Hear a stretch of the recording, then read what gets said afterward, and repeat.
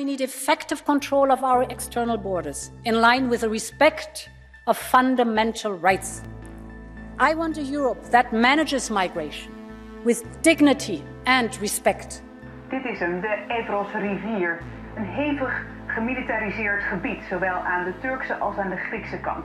NGO's kunnen er niet bij en journalisten als wij mogen er ook niet naartoe. Zowel Griekenland als Turkije ontkennen dit soort praktijken. Deze zomer werd er zelfs ook bericht over families uit Syrië die vastkwamen te zitten tussen de twee grenzen feitelijk. Er zijn heel veel kleine eilandjes in die Evrosrivier. Ze hadden geen medische zorg, geen voedsel, geen water. En een van die kinderen, een van die meisjes van vijf jaar, is daar ook komen te overlijden.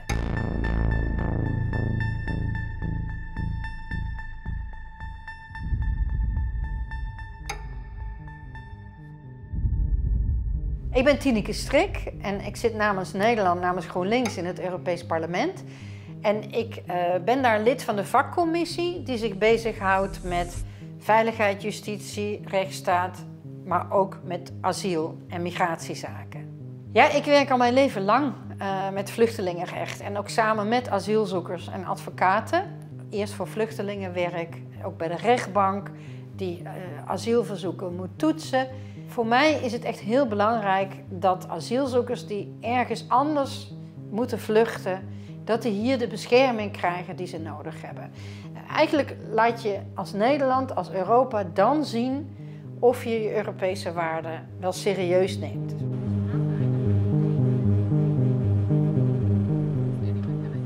Recent zijn we in Griekenland op werkbezoek geweest, naar Athene en naar de Evros-regio aan de grens met Turkije, de landgrens.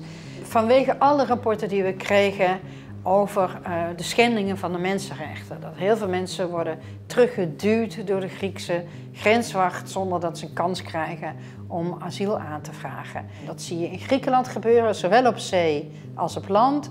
Je ziet bij Kroatië, Hongarije, Bulgarije, maar ook kijk naar de Baltische staten, Litouwen en ook Polen. Dus voor ons was dat een belangrijke reden om daar echt naartoe te gaan, om met iedereen te spreken, met hulpverleners, met ook het ministerie, met Frontex, het EU-agentschap, dat het land helpt bij de grenscontroles, om een goed beeld te krijgen wat daar nu gebeurt.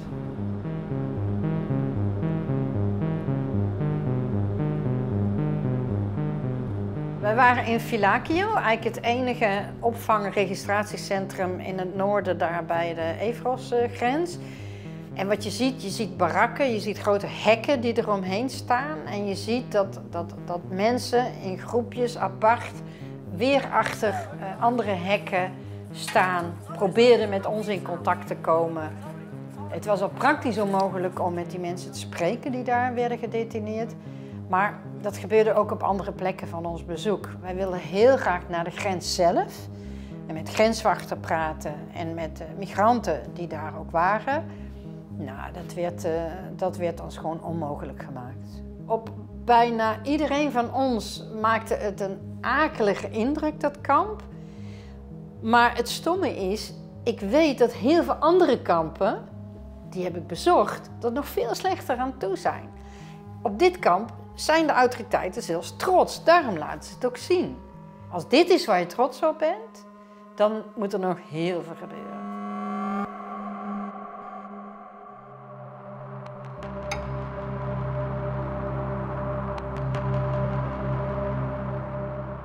We hebben ook een bezoek gebracht aan de minister voor Migratie, Mitterrandji.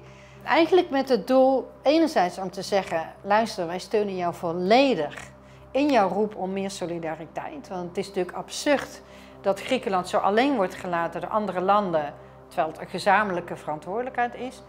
En twee, dat ontslaat je niet van je plicht om mensen fatsoenlijk te behandelen en toegang te geven tot een asielprocedure.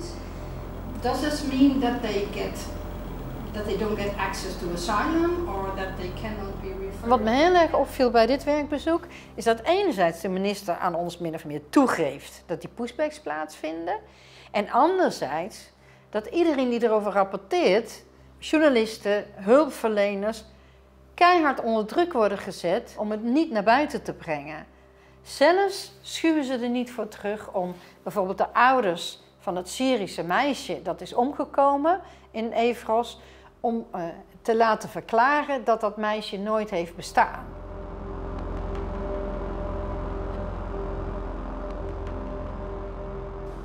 We spraken aan de, aan de grens ook met een uh, forensisch patholoog, dokter Pavlidis, die in een ziekenhuis werkt.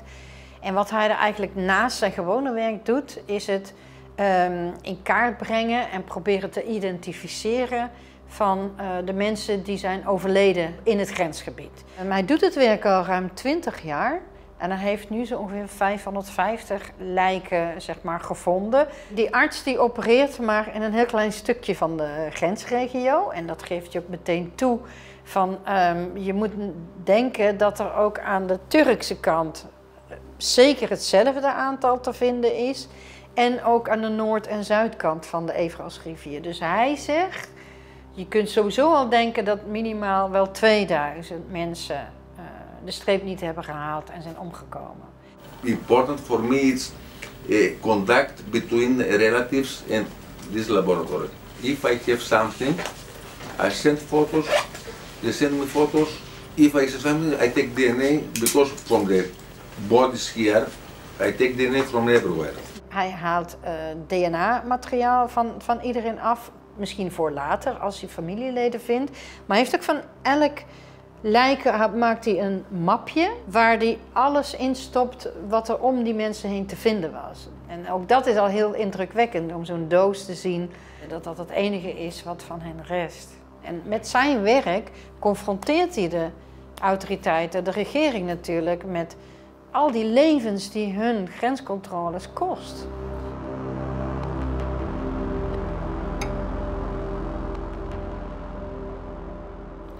Dan heb je nog Frontex, dat is het agentschap. Dat is eigenlijk een politieorganisatie, een grenspolitieorganisatie van de Europese Unie. Die overal naar de grenzen gaat om te helpen bij grenscontroles. Die mensenrechten schendingen liggen heel gevoelig, want zij mogen dat helemaal niet toestaan. Frontex is zowel aan de landgrens met Turkije als op zee eh, met Turkije. Het, gekke is juist dat Frontex niet alleen verplicht is om te helpen met grenscontroles, maar ook met het tegengaan van pushbacks. En wij zeggen dus ook vaak tegen Frontex: luister, er zijn zelfs bewijzen dat jullie zien wat daar gebeurt. Nou, dat zou Frontex helemaal niet uh, mogen accepteren, want anders word je medeplichtig. En dan wordt het makkelijker voor Griekenland om te zeggen: ja, maar Frontex is hier ook. Dus ja, wat, wat kan er aan de hand zijn? Er is maar één instituut in Europa dat als politieagent kan, kan acteren, dus die kan handhaven. Eh, en dat is de Europese Commissie. De commissie blijft stil over die pushbacks. Wat wij ook proberen, wij blijven elke keer weer druk uitoefenen. Van commissie, doe nou iets, sleep Griekenland voor de rechter.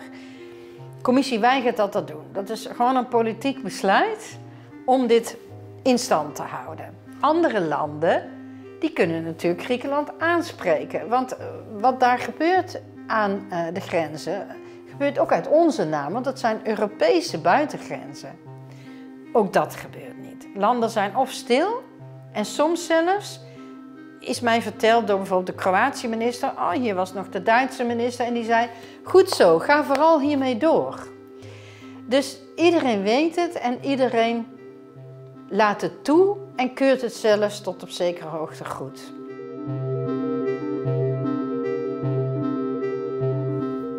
Waar ik vooral mee door wil gaan in Brussel is druk uitoefenen op de Europese Commissie om deze pushbacks te stoppen.